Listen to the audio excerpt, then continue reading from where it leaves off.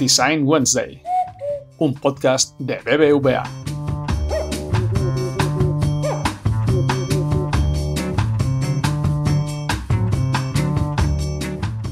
El 8 de marzo se acercaba, y con esto, hace unas semanas escribí un tweet en el que pedí que me recomendaran diseñadoras latinas que estuvieran haciendo cosas increíbles. Fue todo un éxito. Descubrí decenas de diseñadoras muy top y sentí que tenía que compartirlo de alguna forma. Así que, en ocasión del Día Internacional de la Mujer, desde el podcast decidimos entrevistar a varias de ellas y descubrir qué tenían para contarnos. Agendamos las llamadas y nos sumergimos en la aventura para descubrir qué hay detrás de ser una diseñadora. Bienvenidos al quinto episodio de Design Wednesday en podcast. Yo soy María y sí, tal y como ha dicho Mariana, hoy tenemos un capítulo súper especial. Como mujeres diseñadoras somos conscientes de lo que es sentirse invisibilizada o tener que demostrar el doble para poder destacar entre la multitud. Y por eso hemos querido aprovechar este episodio para servir de plataforma para otras diseñadoras y así celebrar el talento femenino que hay en Latinoamérica.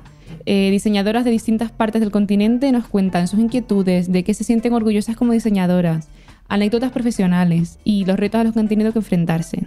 En este capítulo vamos a compartir algunos de sus testimonios. Les recomiendo apuntar sus nombres porque a través de su voz descubrirán diseñadoras espectaculares, con un trabajo fabuloso que por supuesto habla por ellas. Empezamos.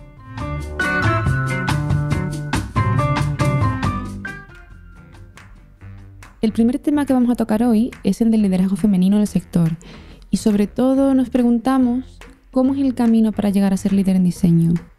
Soy Rom García, trabajo en Confío y soy Head of Design y vivo en México. Eh, ha sido un camino largo, pero la verdad he tenido mentores no solamente desde el lado de diseño, sino desde el lado de negocio que me han ayudado a crecer un montón, ¿no? Eh, muchas veces la parte de, diseño pues puedes tomar desde bootcamps, puedes entrar a mentorías, puedes tomar miles de especializaciones, pero si no hablas el lenguaje de negocio es difícil llegar a esas conversaciones, ¿no? Entonces eh, creo que toda la trayectoria en Confío ha sido entre una combinación de tener la oportunidad de experimentar, de, esta cultura del error de, ok, aviéntate a hacer esto porque no sabemos si va a salir o va a salir mal, pero si no lo probamos no hay manera de, saberlo, ¿no? Entonces, mucho con este mundo de startup me ha ayudado muchísimo tanto a crecer hacia un mundo de management donde Planeta no tenía como ni idea de cómo lidiar con, con personalidades, con necesidades de, de career paths, de muchas cosas, pero también entender desde un lado de negocio el impacto que el, que el hacer las cosas centradas en, en los usuarios pueden tener. Mi nombre es Lucero García. Actualmente estoy trabajando en BBVA como Design Manager de productos de contratación. En realidad, mi carrera iba orientada hacia el desarrollo de software. Al inicio fue, fue desarrollar eh, en Java y posteriormente fue trabajar en el banco me hizo empezar a ver un área referente más hacia la usabilidad. Me empecé a interesar más sobre todo este movimiento de lo que era realmente la experiencia del usuario, conocer el por qué, por qué se estaban diseñando las cosas más que el hacerlos, ¿no? Entonces, pues fui creciendo más como aprendiendo muchas cosas, desde experiencia de usuario, UX, visual, y de ahí empecé como a, ver proyectos, temas de ventas digitales, temas de la aplicación móvil. Eh, también vi mucho tiempo temas de autoservicio en ATM, en cajas. Eh, y a partir de ahí se dio, digamos, de alguna forma eh, empezar a liderar un equipo que también fui aprendiendo con el tiempo. Y pues creo que de ahí creo que los, los proyectos son los que te retan un montón el liderar un, equipo también es súper retador, conocer personas, aprender de ellas, poder guiarlas eh, para crear proyectos que puedan aportar valor a las personas. Eso es muy retador, me, me ha servido tanto de manera personal como profesional. Que haya líderes mujeres en diseño es súper valioso desde lo que aporta su visión al diseño de los productos, como el hecho de que las personas que están empezando tengan referentes, hasta poder crear espacios para las diseñadoras. Sin embargo, y esto es un tema que ya hemos tocado en el podcast, es que la mayoría de estudiantes de diseño son mujeres, pero luego las empresas las posiciones de liderazgo siguen ocupando a los hombres en la mayoría de los casos. Entonces nos preguntamos, ¿Por qué ocurre esto? ¿O por qué sigue ocurriendo esto? Y sobre todo, ¿qué hace falta para que haya más diseñadoras en puestos de management? Perder el miedo. Muchas veces eh, no aceptamos proyectos que pueden llegar a tener gran exposición porque no nos sentimos listas. A mí me pasó. Uno de mis jefes me dijo como, oye, esta es esta oportunidad, ve. y yo, pero, pero ¿qué hago? ¿Cómo lo hago? Eh, y, y, muchos de ellos me dijeron, pues la verdad no sabemos cómo y más bien necesitamos alguien que tome es el control del proyecto y que se aviente a aprender con nosotros, ¿no? Y, creo que muchas veces nosotras mismas nos frenamos. Eh, decimos como, no, no estoy lista, entonces mejor no, ¿no? Entonces, incluso si no se sienten listas, hay que tomar esos proyectos de gran exposición porque nos permite exponer lo que sabemos ante perfiles que generalmente no nos tomarían en cuenta, ¿no? Y creo que es parte fundamental tanto del reconocimiento personal como del equipo que lidereas. Y es súper importante hacer aliados en otras áreas súper importante, porque eso te ayuda a entender el proyecto y los, los problemas a los que te vas a enfrentar desde otras aristas, ¿no? Entonces, poco a poco, eh, esa parte de exposición va como como dando frutos, ¿no? Es una inversión, es mucho tiempo, es mucho trabajo, pero al final es una inversión tanto personal como profesionalmente. Muchas veces eh, hay gente súper talentosa, pero que necesita ese empujoncito, ese empujoncito de creérsela. Eh, este tipo de posiciones solo puedes llegar a ellas si lo expresas, ¿sabes? Eh, si te quedas como esperando que las cosas pasen, es difícil que ocurran, ¿no? O sea, un milagro no va a pasar. Y muchas veces hay que dar ese empujoncito de confianza de, oye, yo confío en ti, yo sé que sabes sobre el tema que estás exponiendo, háblalo, defiende tu punto de vista, ¿no? Eh, a mí me pasa con, con, los product designers, no solo con las mujeres, sino de pronto es como un, oye, es que no estoy listo para hablar en frente de un stakeholder de negocio. No pasa nada, todos aprendemos, nadie nació entendiendo finanzas desde cero, ¿no? Entonces, ve, háblalo y si te corrigen, perfecto, vas a aprender. No todos tenemos las mismas capacidades. Algunos tenemos soft skills, otros tienen hard skills y creo que nos complementamos, ¿no? Entonces, siempre es importante saber cuáles son nuestras áreas de oportunidad y rodearnos de las personas que nos hacen más fuertes, ¿no? Mi nombre es Ariana Jarillo, trabajo como Design Researcher en BBVA México en mi percepción, en mi experiencia, creo que hay muchas mujeres, o al menos así me ha tocado verlo. O sea, creo que en todas las agencias o empresas en las que he estado, los equipos están conformados en su gran mayoría por mujeres. Lo que me ha tocado ver es esta parte un poco tal vez donde la voz de las mujeres no tienen el mismo valor o el mismo impacto a diferencia que cuando lo menciona un hombre. No estoy diciendo que que siempre sea así o que con todas las personas sea así, pero eh, por ejemplo a veces en las presentaciones pareciera que tiene más impacto cuando lo presenta un director a una directora. Esa ha sido mi, desde mi experiencia, lo hablo. O sea, creo que cada vez las mujeres estamos eh, más inmersas en diferentes campos, no solamente en este, creo que al menos en este se ha abierto mucho camino para que estemos muchas mujeres, al menos yo lo veo en esta área, creo que un buen número somos mujeres, pero no sé si más bien es un tema hacia afuera, hacia las organizaciones, donde también exista como mucho mayor equidad o mucho mayor peso o mayor percepción al valor que le estamos dando al trabajo. Me sorprende porque lo he vivido de manera, o sea, lo he visto diferente. O sea, el equipo que ahorita está en BBVA, muchos de los leads son mujeres y nuestro head es mujer. Y la verdad es que es alguien que admiro muchísimo porque tiene un montón de experiencia, sabe cómo manejar equipos, sabe cómo estamos está buscando que cómo estemos aportando al negocio, a los usuarios eh, y que siempre le ha aprendido un montón. Entonces, como lo he vivido, creo que hay más mujeres en el equipo que, que hombres, hasta donde ahorita alcanzo a recordar.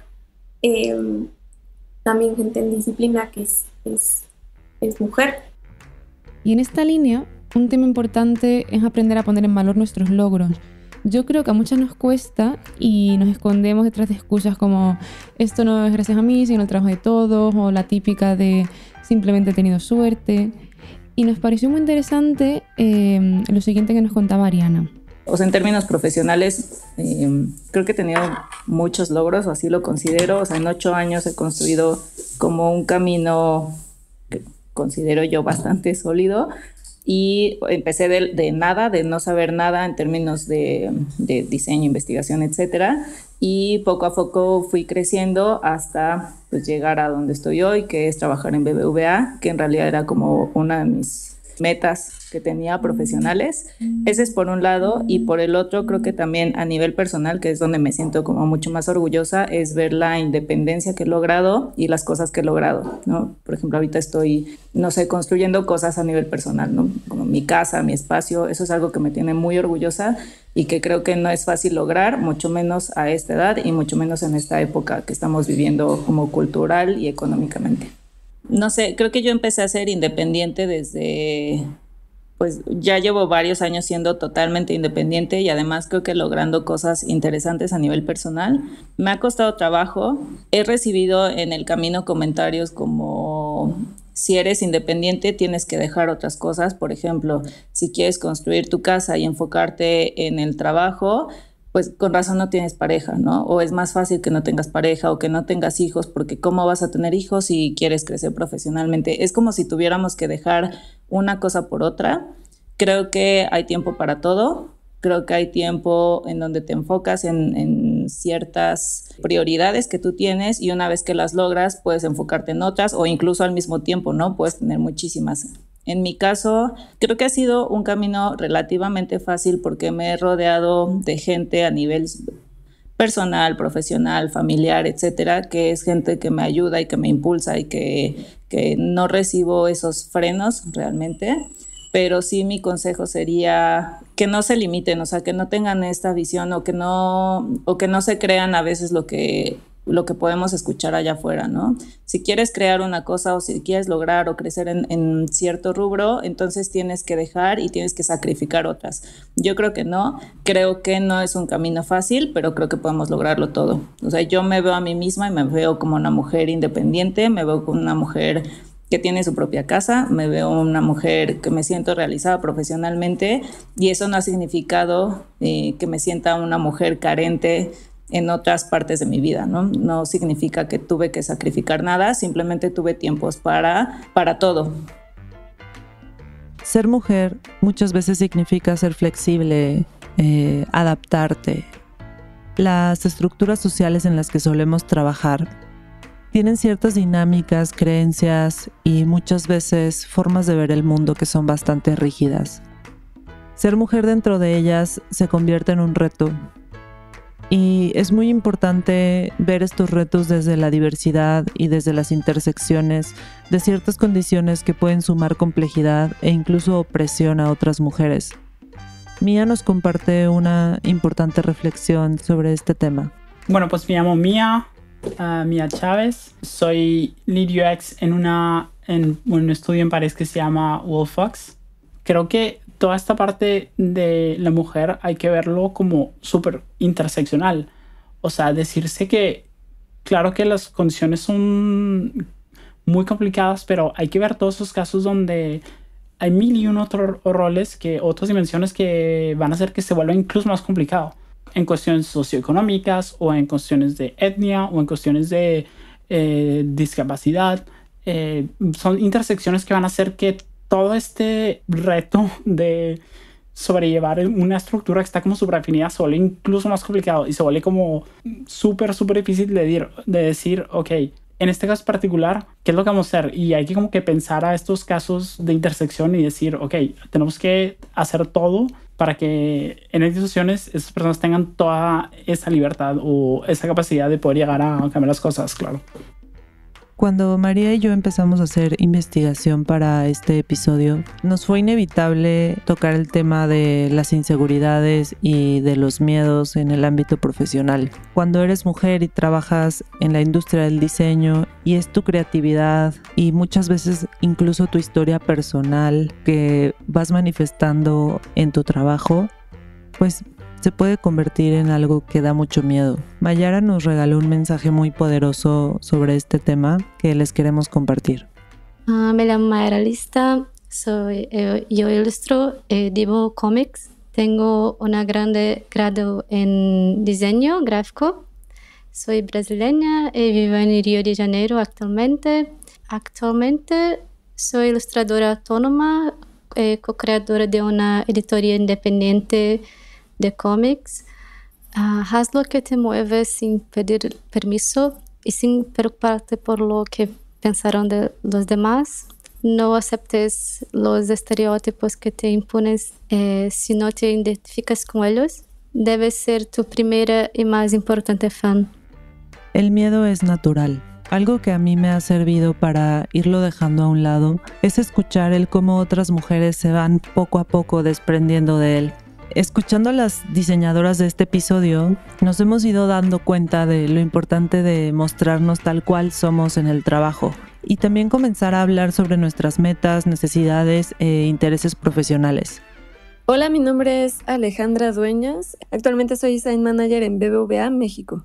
Al romper esa barrera y empezar a, mostrar como mi verdadera esencia, siento que quise empezar a mostrarme como en otros, otros ambientes que no fuera propiamente como mi equipo.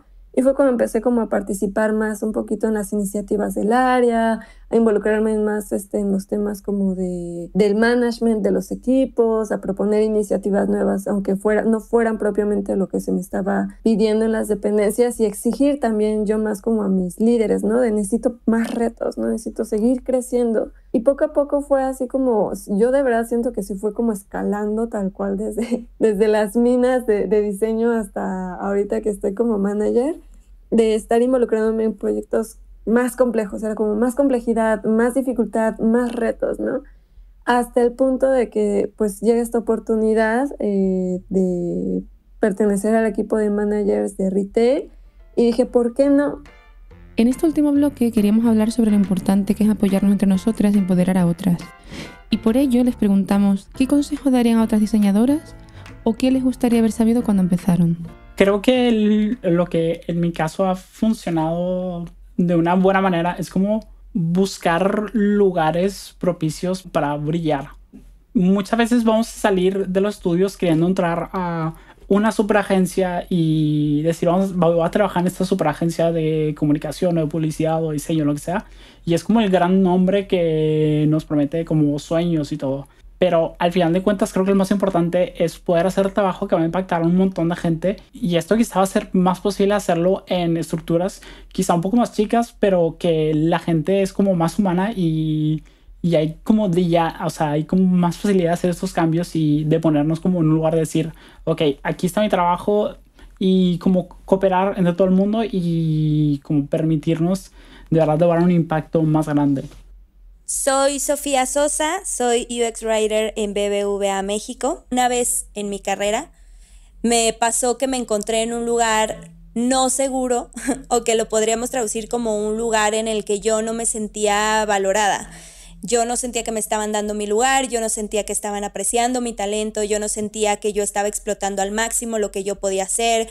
Eh, pues sí, en general yo no sentía que ese era mi lugar. Entonces, aunque no tuve la intuición para detectar que ese no era un lugar seguro para mí, que ahí yo no me podía desarrollar, sí tuve la valentía para decidir salir de ahí. Entonces, no sé qué consejo darles para asegurarles que la decisión que están tomando de, integrarse a algún lugar va a ser seguro, pero sí les puedo decir que se valoren ustedes, que valoren su trabajo y que en cualquier momento en el que ustedes sientan que no están obteniendo, pues sí, que se sientan valoradas, pues que se vayan de ahí, que tengan esa valentía y les prometo que ser valientes siempre les va a dar recompensas.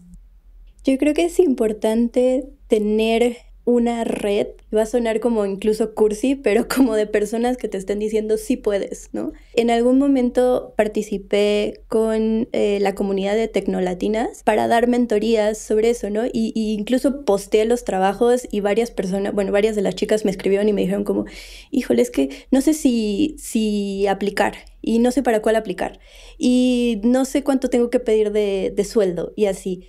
Y creo que ese tipo de comunidades nos ayudan justo a crear estos espacios en los cuales nos sentimos seguras para demostrar como que somos vulnerables, ¿no?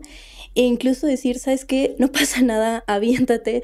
Yo les decía, me llegan un montón de, de CVs que sin miedo lo mandaron, entonces deja de cuestionártelo. El no ya está ahí. Eh, más bien, ¿de qué manera le puedes dar la vuelta? Y si esta vez no ocurre, aprende por qué no ocurrió y la siguiente vez que lo intentes seguramente va a pasar algo diferente. Tal vez lo logres, tal vez no, pero si no pierdes como este miedo a conocer nuevas cosas, a conocer nuevas personas, a ser un poquito menos dura con lo que haces, creo que es poco posible que dejes como toda esta parte donde tú solita te estás juzgando. Entonces creo que es súper importante tener estos espacios de confianza donde podamos desarrollar esos soft skills que muchas veces como mujeres es como, ay no, es que me da pena, o ay no, es que voy a decir una tontería y se van a burlar de mí, o ay no, es que voy a hablar y me van a callar.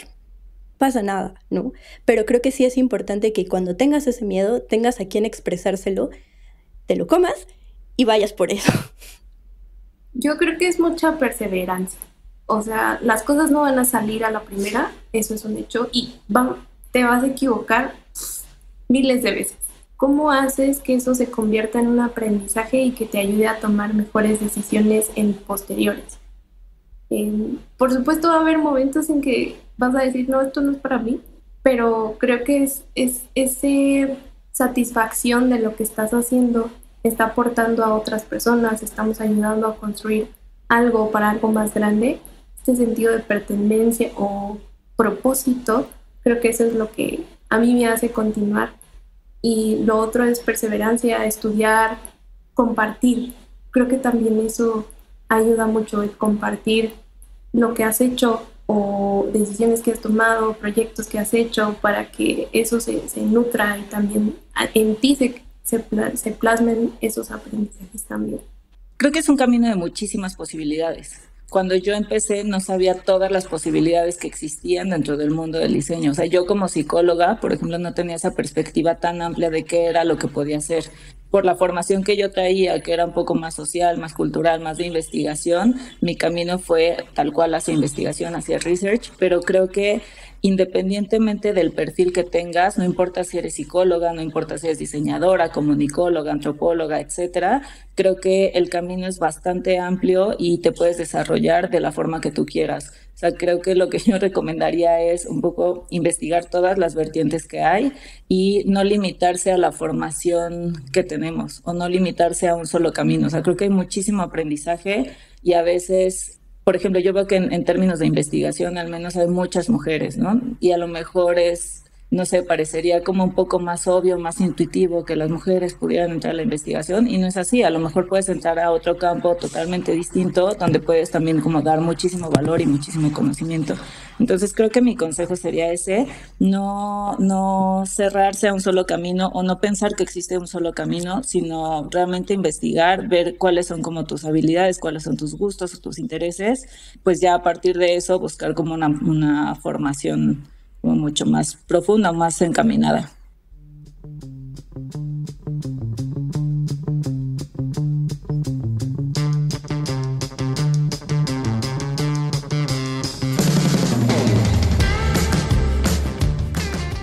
En primer lugar, queremos agradecer a todas las diseñadoras que han participado y nos han dedicado su tiempo para contarnos de una forma tan honesta sus pensamientos, anécdotas y sensaciones.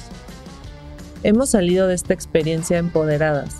Estoy segura que muchas mujeres se van a sentir identificadas con esto y este poder se contagiará. Por supuesto, hay muchas más diseñadoras excelentes, pero por límite de tiempo solo hemos podido hablar con unas pocas. Así que os animo a que descubráis nuevas diseñadoras y compartáis su trabajo que es gratis.